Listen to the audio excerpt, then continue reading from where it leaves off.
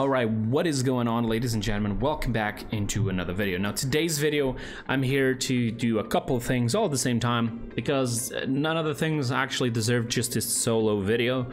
Um, first of all, here's a little change on PTS, by the way, and I'll explain that in just a few seconds. Now you can see the titles of people when you're in custom lobbies. So as you can see here, I can see my own title, and I can see my wife's title over there, Mr. Moneybags, and this a cool addition. Nothing too serious, but it's still really cool. Now, for those who don't know what PTS is, in case you have noticed on the right side underneath on uh, my crystals and my gold, I got a lot of golden crystals, right? Well, that's because this is PTS. This is a public test server. This is not the live server. This is not the normal server you guys are playing in right now, probably. Okay, this is a test server that you need to go on the Steam page Paladins, scroll a little bit, and you'll find a notice saying, do you want to become a tester?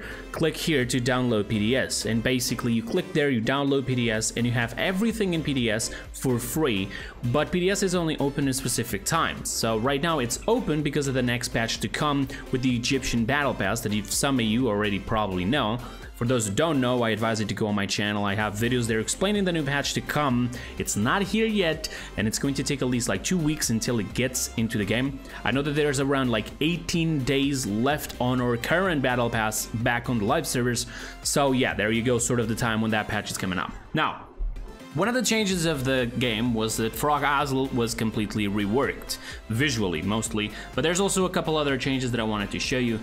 And I also wanted to talk about a change that I found out that it's not on the patch notes. This is not mentioned anywhere as far as I am concerned. It's time to so, choose your champion. You guys already probably saw the thumbnail and the title. I'm just gonna lower here the sound because we really don't need the sound this loud.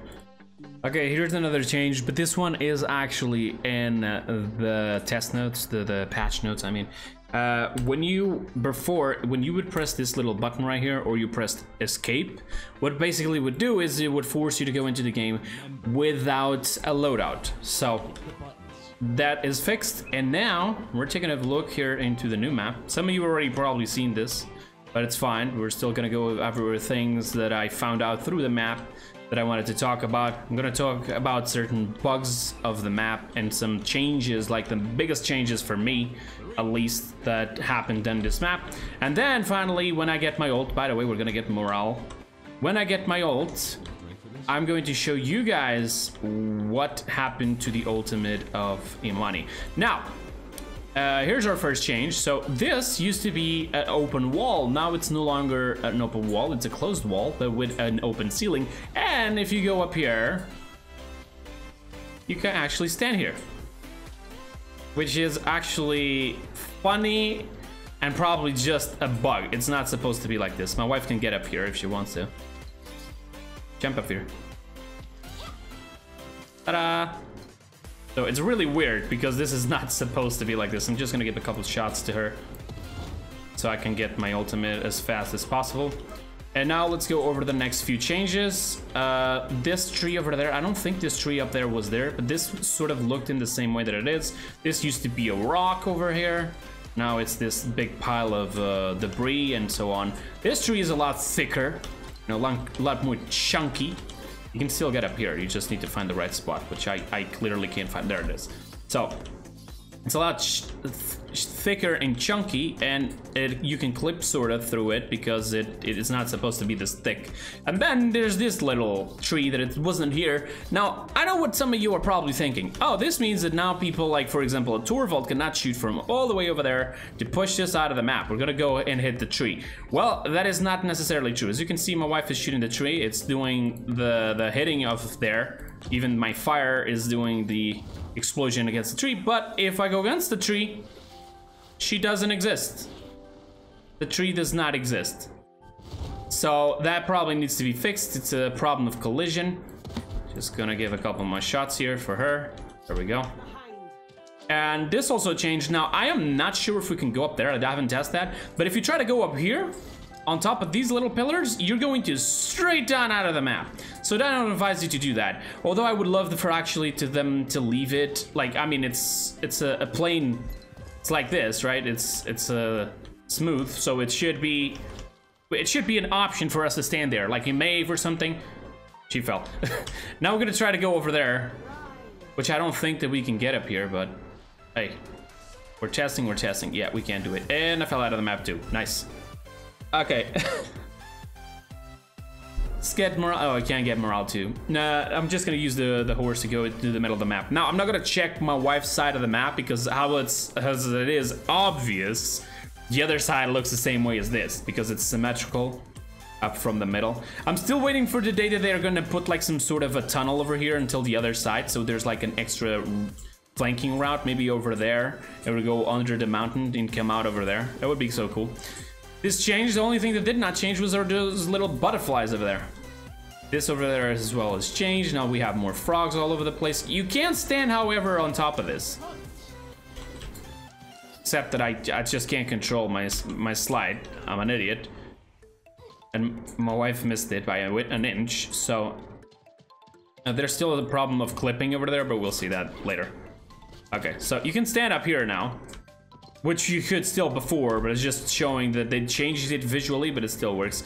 There was a bug over here that would make you like go crazy. It's not here anymore as well. Um, but there is still a little bit of clipping over here, as you can see. Okay, now on to the ultimate. Where's my wife so I can shoot her?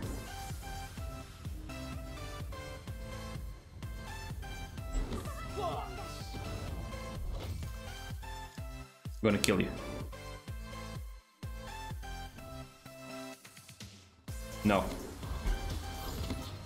There, we got the ult. So, before I go into the ult, I'm going to explain. There's an extra thing on the ultimate, which, uh, I don't know exactly what it is for. I am guessing that it's for one thing. Uh, but, and I also tested multiple different things, so you have the idea. Now, I'm going to go on the ults without any more wait. And there it is. You got this little bar over here. Now, initially I thought this bar is the HP of the dragon. My wife can shoot the dragon. It doesn't move. All right. What does happen, though, you see that it's going down now? What it, this happens is basically telling me that after it ends a few seconds, like one, two seconds, and I'm beat back into my original body. So basically, I think it is for that, because my original body being attacked, it doesn't change that bar. I am pretty sure because we tested that out as well. Um, but uh, I think it only activates like in the last few seconds of the the ultimate because they it, they nerfed that that um that ultimate right to like what 20 seconds or something and so people know when it's going to end you probably that's the, the little bar starts going down but it's not immediate. Like as soon as the bar goes down it's not immediate and you just get back into the body. No but this allows you to know okay in less than one or two seconds after that bar ends i'm pretty much just gonna go back so might as well just go back now or something like that. Or so you be careful so you're not pressing buttons when uh, which a lot of people have done. When you're in the ultimate you do some buttons and then you just jump off the map sometimes or you shoot maybe the frost bomb which you didn't want and you do this by accident. Or you just activate the cannon depending on what you had and it's all a mistake.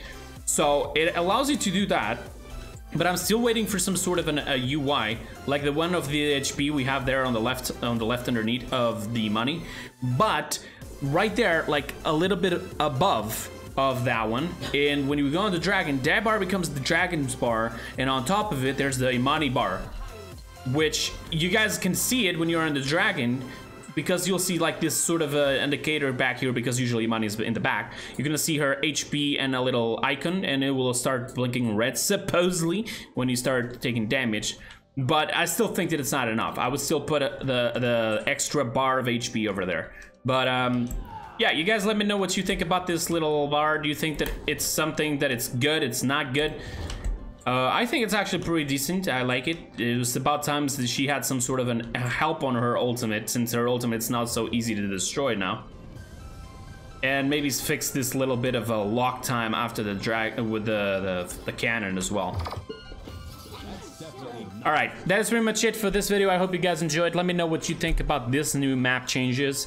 And what do you think about the ultimate secret change to Imani as well? Do you think it's good? Not bad? What would you change? What would you not change? And if you want to talk to me, You can always find me. I will be live streaming on my own channel or in the Paladins game channel pretty much like the next few days, every single day.